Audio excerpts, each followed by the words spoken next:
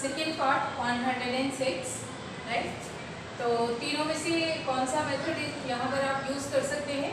Just more than hundred one right just more than hundred में जहाँ less than hundred था close to hundred था, वहाँ आपने डिफिशियंसी फाइंड आउट की थी।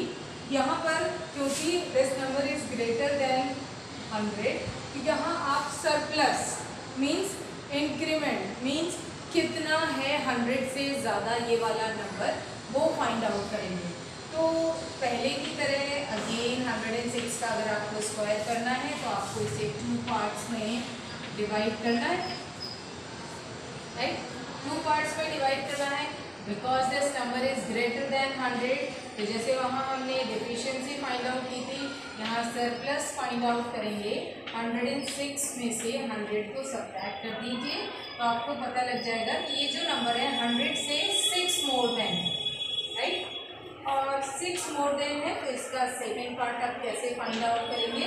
इसी सिक्स का स्क्वायर करेंगे। So what is this thirty six तो यह second part is thirty six second first part find out करने के लिए हमने कहा था कि अगर सरप्लस है, ये ज़्यादा है तो दिए हुए नंबर में और इसको भी ऐड कर दीजिए।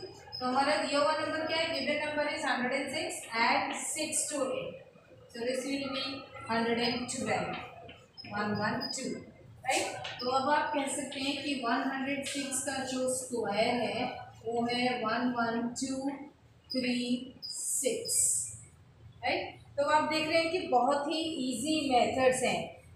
अकॉर्डिंग टू देयर नेम्स बिल्कुल सही है कि ये बहुत ही इजी मेथड्स हैं। किसी भी नंबर का जो कि जस्ट मोर देन हंड्रेड हो, उसका स्क्वायर फाइंड आउट करने के लिए।